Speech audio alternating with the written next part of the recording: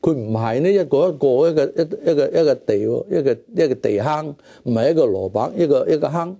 如果佢就一個坑都唔緊要，佢有有塊碑喺度寫住乜乜先生嘅紀念啊嘛，最緊要有個碑喺度啊嘛，佢平嘅都係碑啊嘛。市政府就將所有嘅嗰個月死嘅，譬如有八個人，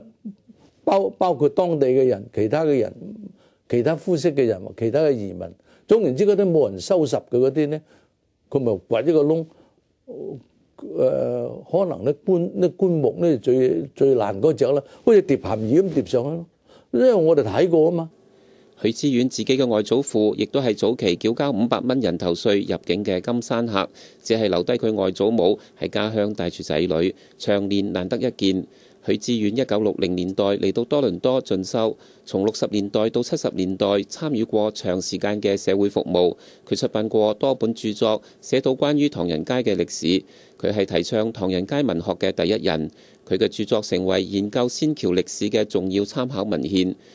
佢話：大約喺一九六零年代，連美國經濟都十分蕭條，大部分華人都過住 dollar day 一日一蚊嚟過生活。如果要返鄉下，盤村太貴，成世人返去一兩次都唔容易。有鑑於唔少華人死無殮葬，佢當年就建議成立義葬委員會，並且擔任咗主任委員，獲得社會上好多人嘅捐助。埋葬把事情後事就把它解決好了以後，再去幫他找，通过大家朋友的关系，再找到有没有亲戚在台，呃，在这个中国，所以就把东西再寄还回给他们家，或通知说他已经在这边不在了。在一九八零代的时候，加拿大已经是是一个多元文化，你知道，所以他對華人也有一些平緩啦。啊，不管是不是我们华人，就是一般。假如在加拿大这边有什么没有亲戚的人過世，他们也有自動出來幫他做這些事情，所以我们就覺得說中華會館那這是已經不需要。聽見講呢，當時呢，因為義葬委員會慢慢啲家人就嚟啦，嘅時移世易咧，老已經死晒啦嘛，嗰啲冇誒冇得歸土嘅，係一定要靠義葬嘅時候呢，嗰啲已經越嚟越少啦。我哋睇到嘅，但係有啲錢喺度，咁咪就起嘅仙橋紀念碑啦。於是喺一九九零年就樹立咗呢座紀念碑，呢個就係安省華人仙橋紀念碑嘅由來。回顧嗰個年代嘅海外華人，真係體會到人離鄉戰，於是同鄉嘅宗親公所就可以幫助到佢哋喺經濟同生活等方面嘅需要。唉，舊陣時知道生活困難噶嘛，舊陣時冇咁多錢啊嘛，而家呢，就因為我哋公所呢，就投資有幾個先咁，咁咪做下慈善咯。時移世易，加上科技進步，而家新移民好快就可以融入新環境，而且非牟利嘅社區服務機構亦都紛紛成立。社團、會館、宗親會、同鄉公所，佢哋嘅歷史任務係咪已經不復存在呢？咁我所以中國嘅鄉土嘅嗰個嗰個觀念呢係有嘅，所以我成日話呢，我哋不管喺邊度啊，因為由於我哋誒中國強奔。不奪主呢一種嘅六輪政策呢，就使到中國人咧好安分喺外國，變咗咧建立自己嘅形式嘅傳統社會，啱中國人有個聚集啊，咁啊所以咪亦都係信火薪火相傳嘅。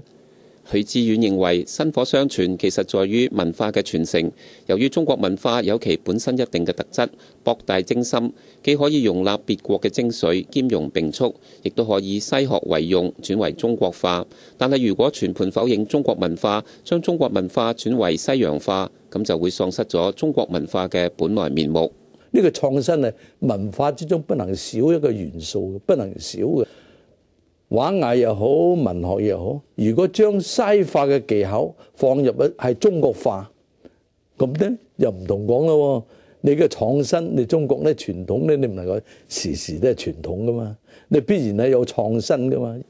以黃江下雲山公所為例，佢哋每三年一度輪流喺全國六個大城市舉辦或者參與全家王氏懇親會，就係要保留超過一百年嘅歷史傳統，不斷為同鄉嘅情誼加溫。啱啱我哋去溫超開開完會，即係懇親會開完會，就係主力就係討論呢個問題。咁而家佢呢青年部呢，就用而家啲電誒電氣化，佢用嗰啲 computer。四圍聯絡呢六個埠，睇下點樣去發展日後嘅竹務。與此同時，佢哋又積極推動年青人參與，促進新一代梯隊為公所、為社會盡力。我哋嘅青年部好健全，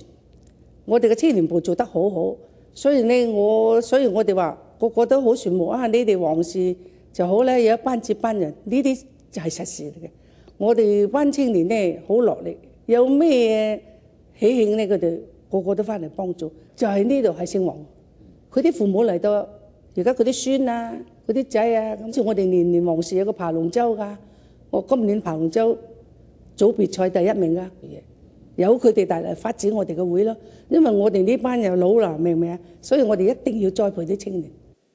而許知遠亦都認為，橋社要繼續發揮作用，就必須為年青人提供機會。負責人嘅任期唔能夠過長，否則就會因循苟且、蕭規曹隨。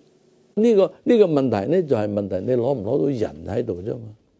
啊！有啲老華僑咧，佢未必冇新思想啊，但係新華僑咧，未必有有有有有啊呢呢種嘅嘅責任感啊。慢慢咧，後一代嘅人咧，如果佢唔識中文咧，就係一個危機嚟嘅。誒，我們的華人呢，